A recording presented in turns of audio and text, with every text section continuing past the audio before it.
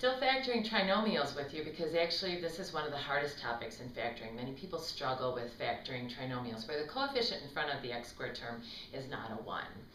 There's one thing I, I have failed to, to tell you.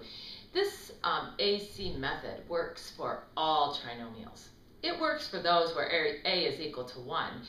But that type of problem is so simple. It's not necessary to go through this whole process of grouping and making this into two terms and, and um, grouping the first two and the last two. So it is only makes sense to spend time on and use this process when this is not equal to a 1.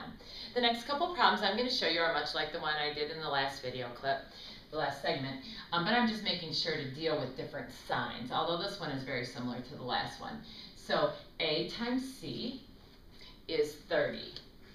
So I'm looking for two numbers whose product is a positive 30, and I want those to add up to be a negative 17.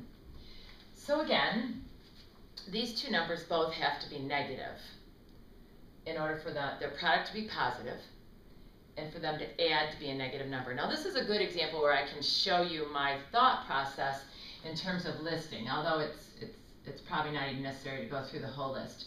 But I always use one and the number itself, and then I ask myself, does two go into there? And I'm not even going to stop right here um, because that is my, my two values. And I say to myself, does three go into 30? And it goes in there 10 times. And then I say my, to myself, does four go into 30? No.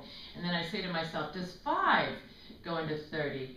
And then, you know, I could say, does 6 go into 30, but I've, I've got that pairing already. So those are all the numbers whose product is 30. And I'm looking for the pairing whose factors, this negative 2 and the negative 15, will add to be a negative 17. So right here, I can replace the minus 17x with either a minus 2x and a minus 15x, or I could write it as a minus 15x minus 2x. It will work both ways. Then I'll bring down this 10, and I'll bring down this 3x squared, and I will go ahead and group the first two. Be careful right here. Minus sign in front of the third term is just a little bit trickier. So I'll, I'll swipe, swipe that, and I'm going to grab that sign in, in the parentheses, and here I'm going to factor out a greatest common factor of x. And when I do, this is what I need here, because x times 3x is 3x squared, and x times a minus 2 is a minus 2x.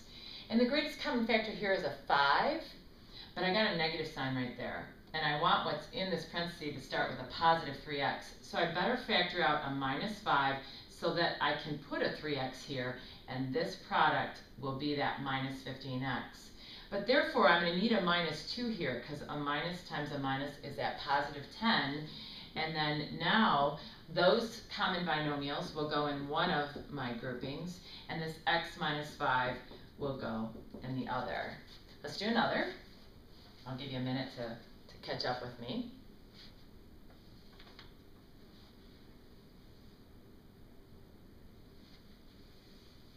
maybe I'll just go ahead and put the new problem up here while you're, in case you're, you're still writing.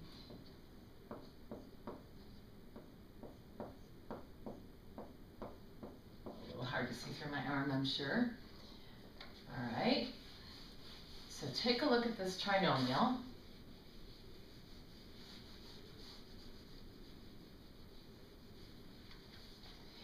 And I would like two numbers whose product is a negative 84.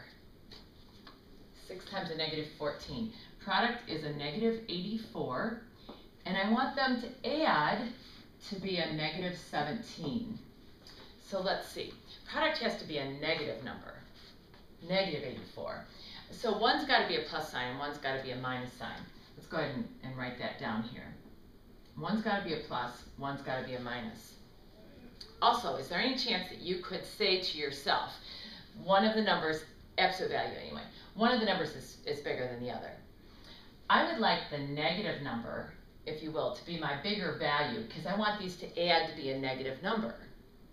So as I list 1 and 84 here, for example, I want the 84 to be negative because I want the 1 and the negative 84 to add up to be a negative, a negative value again. That's not going to work. And so next I'm going to go with a positive 2 and a negative 42. Their product is a negative 84. Let's go with a positive 3, and I've previously done this so I don't have to think too hard about it, and a negative 28. Probably not adding yet, so I just keep going 2 divided by 84.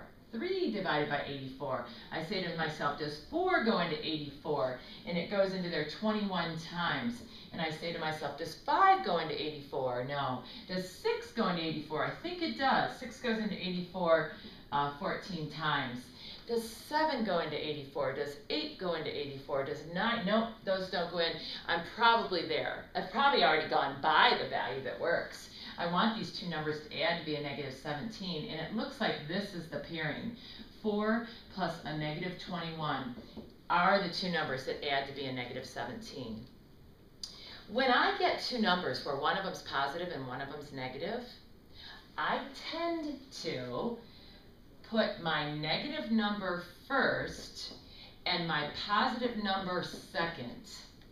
So that this, which is the middle, the sign in front of the third term, when I bring down this minus 14, and when I bring down this 6x squared, I have a plus sign in front of this third term. This isn't necessary, but it just doesn't, when I go to group this, it doesn't make me have to think too hard.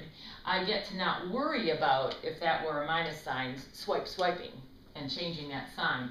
And so here, I'll just pull the greatest common factor out of a 3x, it looks like. And then I need a 2x here, because that product is 6x squared. And then a minus 7, because that product is at minus 21x. The greatest common factor here is a 2, and when I pull that 2 out, I need a 2x here, and I kind of peek over here to see if it's it, what I'm looking for. And that is that 4x. And then a minus 7 here, because 2 times a minus 7 is at minus 14. And I kind of peek again over here and say, oh, good, they matched. And so I'm going to have this in its factored form as 2x minus 7 times 3x plus 2. Guaranteed works every time, all the time. Um, I think I'd like to, to stop the video so you only have to watch about seven or eight minutes at a time. I've got a couple more problems I'm going to share with you in the next clip.